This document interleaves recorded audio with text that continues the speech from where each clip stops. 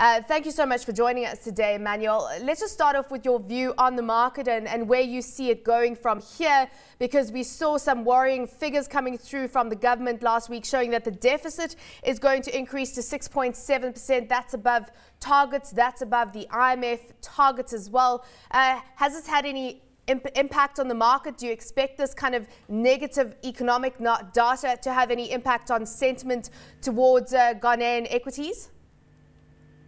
Um, not not yet. Um, this this uh, we still in uh, the early days. Um, uh, we, we, expect this to have a positive impact uh, the following uh, weeks. Um, we also have uh, some coming out with its second half report.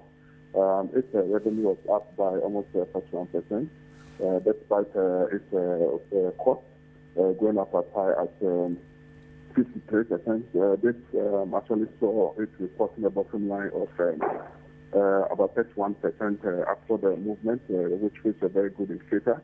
Um, we've also had uh, the, the, company expanding its warehouse facilities, which was also yielding a very good result.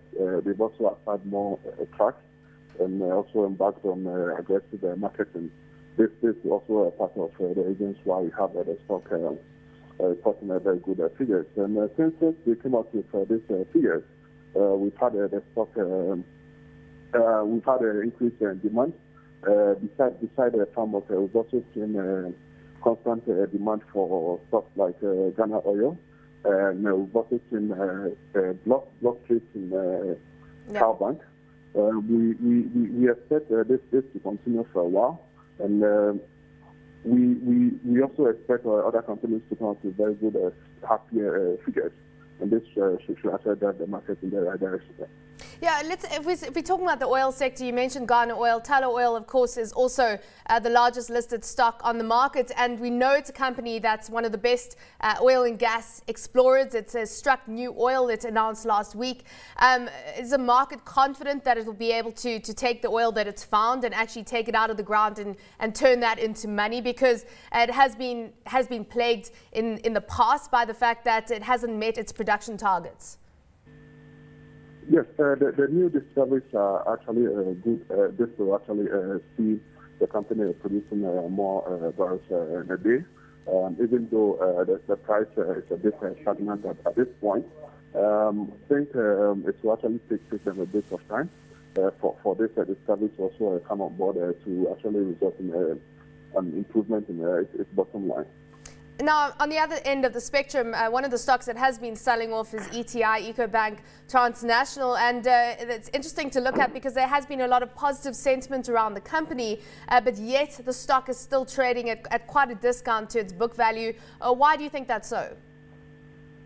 Yes, uh, besides the fact that um, its uh, float is, is quite large, um, we also have the, the price not performing to the expectation of the investing public. Uh, for, for that reason, uh, we see uh, quite a number of retail investors offloading at a huge discount to, to market prices. Yeah. Okay, so th there we go. That's, of course, the banking sector. But, Manuel, overall, if you had to position yourself in the market this week, which stock do you think is positioned for, for the upside? Um, yes, uh, investor interest uh, is still uh, high in Ghana oil. we also see that in uh, Bank. Um, that that was the uh, uh, started going up. Uh, this, these are the three main stocks that, that I think will drive the market this week.